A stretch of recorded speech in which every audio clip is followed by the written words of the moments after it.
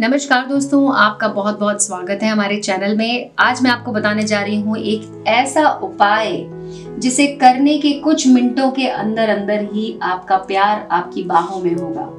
जी हाँ सौ परसेंट असरदार। ये है एक ऐसा उपाय जिससे आप अपने पति को, अपनी पत्नी को, अपने प्रेमी को या प्रेमिका को किसी को भी अपने वश में कर सकते हैं। बस आपको ज़रूरत है थोड़े से शहद की।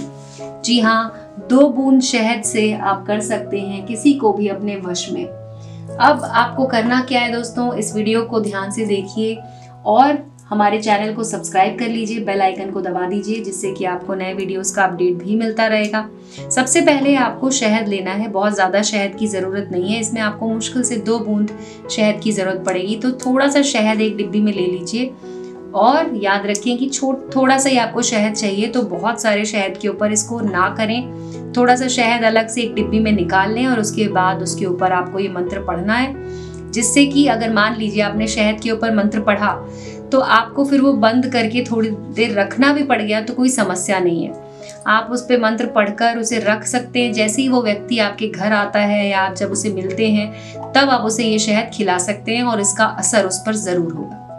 अगर आप पूरी बॉटल के ऊपर अभिमंत्रित करेंगे और फिर उसके बाद आप उसे सिर्फ़ एक चम्मच खिलाएँगे तो उसकी जगह आप एक छोटे बर्तन में, छोटी बॉटल में सिर्फ़ एक चम्मच शहद अलग से निकाल लीजिए इसे करने के लिए। उसके बाद दोस्तों, आपको इस शहद का ढक्कन इस तरह से खोलना है और इसे अपने सामने रख लेना है। अब एक मंत्र है, ओम श्री वज्रदेहाय राम भक्ताय वायु पुत्राय नमस्तते।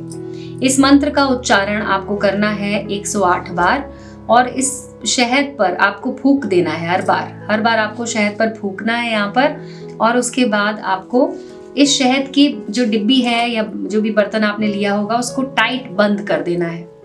जब आप उस व्यक्ति से मिले, जो व्यक्ति जिसे आप अपने वश में करना चाहते हैं तो उस समय आपको इसका ढक्कन खोलना है और उसके बाद उसकी चाय में या फिर अगर आप किसी भी चीज़ में अगर इसको मिला सकते हैं तो वहाँ पर इसको मिला दीजिए और तुरंत आप उसका असर देखेंगे, तुरंत ही वो व्यक्ति आपके वश में होगा।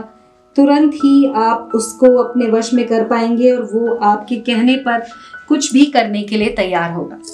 मंत्र मैं आपको दिखा देती हूँ। मंत्र ये है, ओम श्री वज्रदेहाय राम भक्ताय वायु पुत्राय, नमस्तुते। इस मंत्र का उच्चारण आपको करना है। ध्यान से इसका स्क्रीनशॉट ले लीजिए ऐसे किसी कागज़ पर लिख लीजिए और उसके बाद आपको मंत्र को सही तरीके से बोलना है। तो दोस्तों, आज की वीडियो में बस इतना ही।